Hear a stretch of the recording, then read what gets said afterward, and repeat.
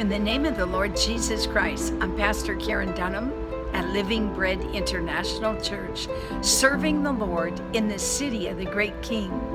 Wow, what a season we're in. Come from the four winds, O breath of God, and be released. Breath of God, be released. Blow on those dry bones, God. Blow on those dry bones, God. Strengthen your great army, God. Strengthen the foot soldiers, God. Strengthen those, God, that are being persecuted and beaten by Satan, God. Strengthen the workforce, God. Yes, Lord. Show us your glory, God. Yes, liberate your captives, God.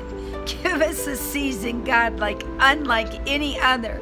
And it's already begun. We just thank you for that, Lord. The rain of heaven is falling. The miraculous of God is breaking out.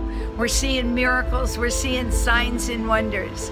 Healing's coming for you. I mean, it is a great day to be moving with the rhythm of the Spirit. Now, maybe you're watching today, maybe you don't even know the Lord. Or, or maybe you're wondering what it means to be born again. I meet Christians in Jerusalem sometimes and they say to me, Are you one of those born again ones? And I said, Well, this is what it says in the Bible. In John 3, in verse 3, Jesus said, Assuredly, assuredly, unless one is born again, he cannot see the kingdom of God. So the Lord said, Assuredly, unless you're born again, you're not going to see the kingdom of God. And Nicodemus said, How can this be when a man gets old? He's going to be born again, enter into his mother's womb a second time? And Jesus said, Most assuredly, I say to you, unless one is born of water and the Spirit, he cannot enter the kingdom of God. That which is born of the flesh is flesh, and that which is born of the Spirit, a spirit. And the Lord went on to say, Don't marvel, do not marvel that you must be born again. You must be born again, people. You, we can look in Luke, and we can see when the Spirit overshadowed Mary, when the Spirit overshadowed Mary, Christ was born. And I feel the Bible says in Psalms 91 the shadow is the secret place of God.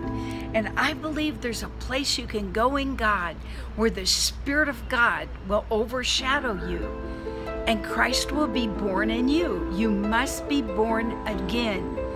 Wow, it's it's you become a new creation. Look at us. Are we a new creation? Or are we an old creation who have read a little bit, know a little bit about Jesus? Do we know just a little bit about Jesus Christ? Or have we truly become a new creation? Have we truly become born again? You must be born again.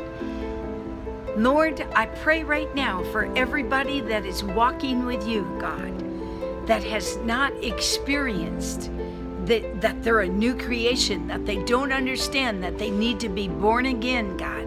I ask that you overshadow them, God, with the power of your Holy Spirit, God, and let Christ birth in your soldiers, God. Let Christ birth in those that walk and call you by name, God. Lord, I ask that your people become truly that new creation, born again, God, born again of the Spirit, God, not from their mother's womb, but from the womb of God, an imperishable seed, imperishable seed, a new creation that'll never die. He said, For God so loved the world, he gave his only begotten Son that whosoever shall believe in him shall not perish, but have everlasting life. Come on, we become born again, we shall not perish and have everlasting life. John 3:16.